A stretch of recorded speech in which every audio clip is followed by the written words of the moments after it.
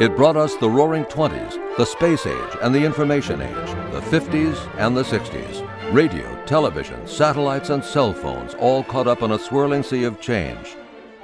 And it introduced a new voice in music, our voice. From the ground to the air to the sky to the concert hall, this has been the American Century. Welcome to the American Century, an exploration of America's modern musical legacy, hosted by David Dubal. The American Century is sponsored on 96.3 FM WQXR by American Century Investments, with over 40 years mutual fund management experience.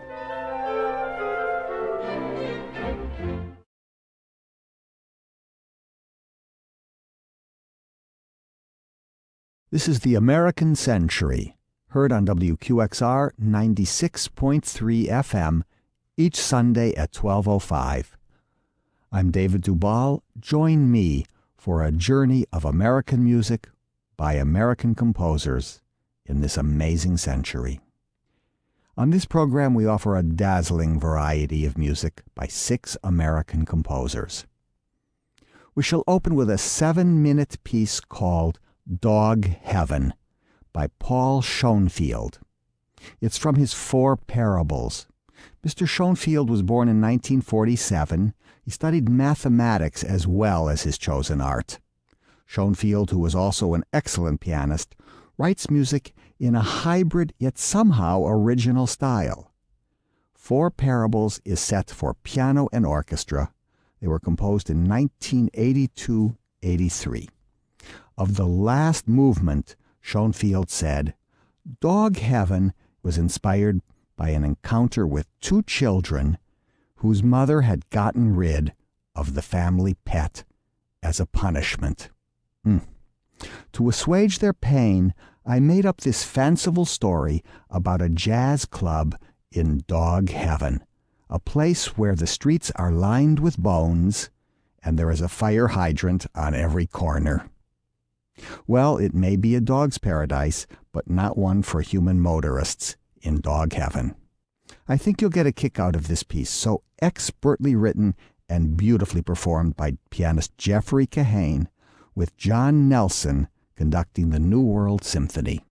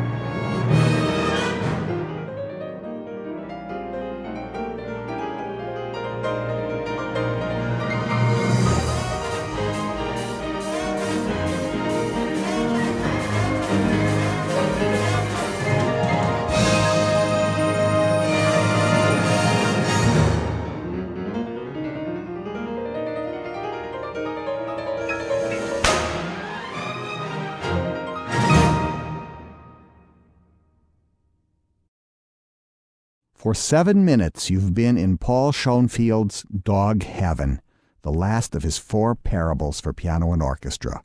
Jeffrey Kahane was the soloist. John Nelson led the New World Symphony.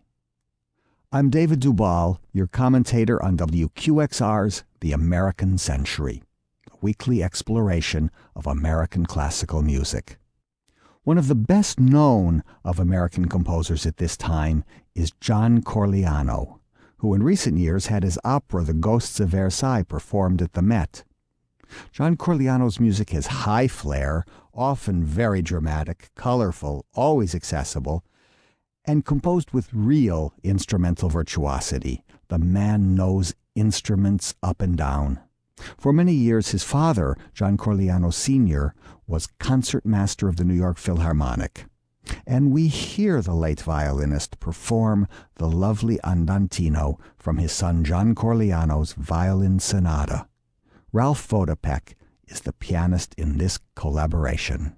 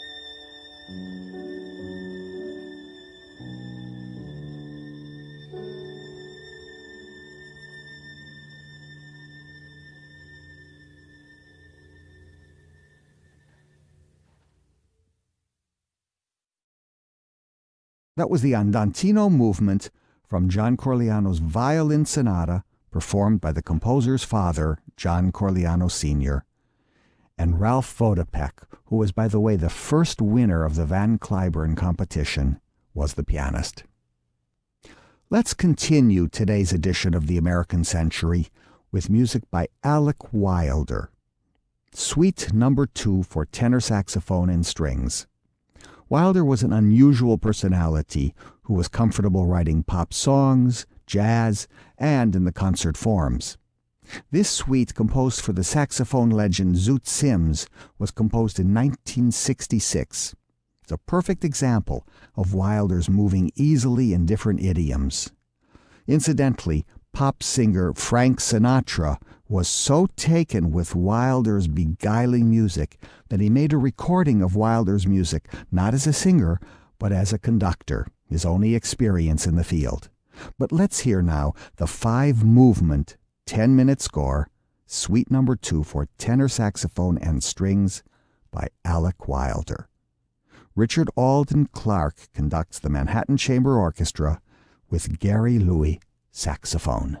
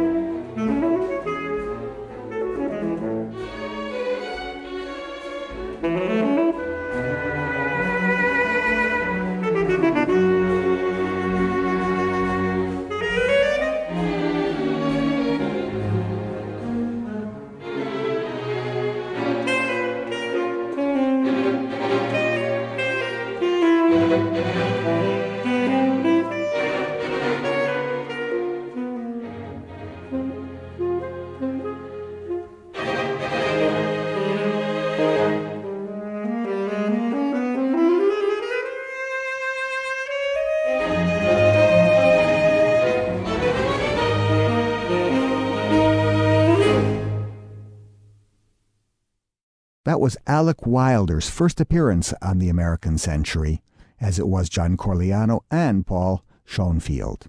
We have heard the tenor sax suite number two by the late Alec Wilder. Richard Alden Clark conducted his Manhattan Chamber Orchestra with Gary Louie on saxophone.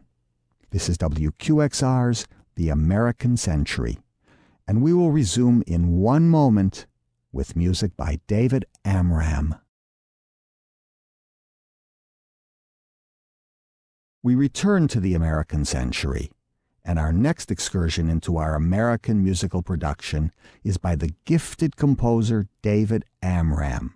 He's prolific and he disdains no musical medium.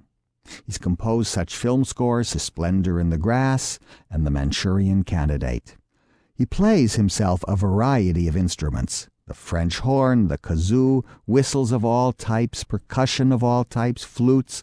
In fact, everything he touches, he turns musical. I've known him for many years, and I've always been astonished at the warmth of the person. But read his autobiography, Vibrations, written about 20 years ago. It reveals a lot, and it's good reading. Today we hear from his American Dance Suite, the last movement, Cajun. Richard Alden Clark conducts the Manhattan Chamber Orchestra.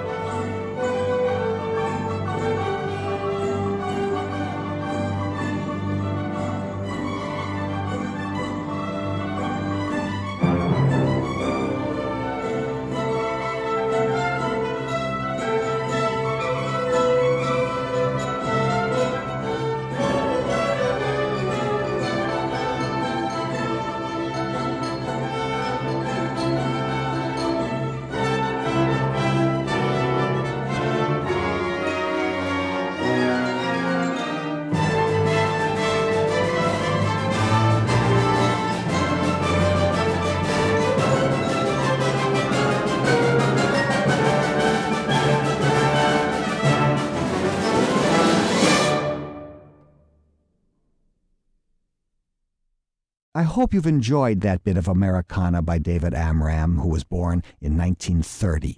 It was Cajun, the finale from his American Dance Suite from the American Century.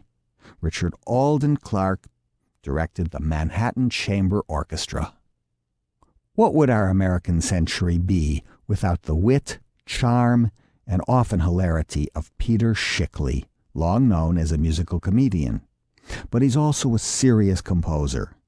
We hear today from the Quartet for Clarinet, Violin, Cello, and Piano, the Quite Fast Dancing Movement. The premiere took place in 1982, and Schickele dedicated the work to his father. Here it is, Quite Fast and dancing, and we hear members of Chamber Music Northwest.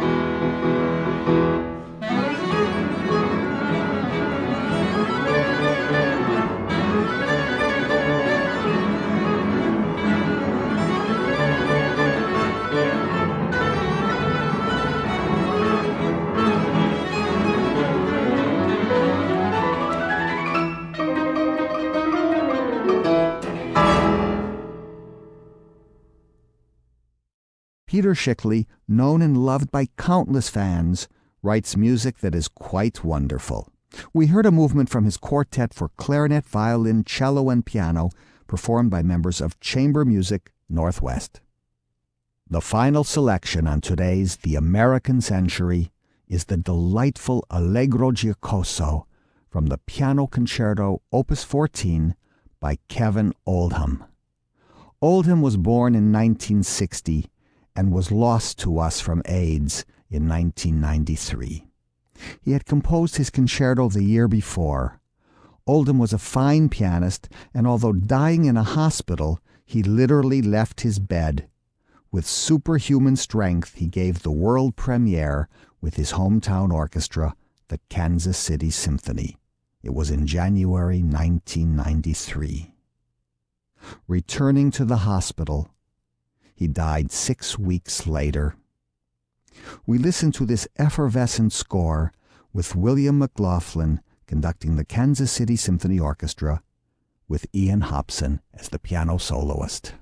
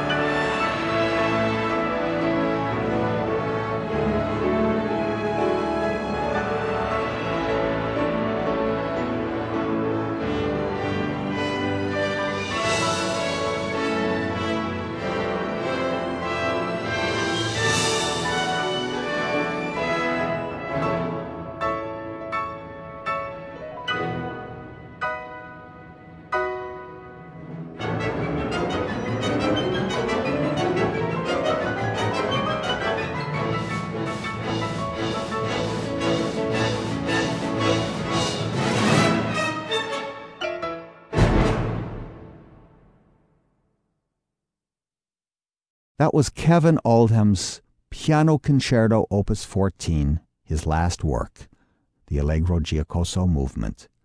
Ian Hobson was pianist, William McLaughlin was conductor of the Kansas City Symphony. It was McLaughlin who was the conductor at the premiere. American Century Investments is pleased to sponsor the American Century on WQXR. American Century is proud to celebrate 40 years of experience in mutual fund management, providing investment services to millions.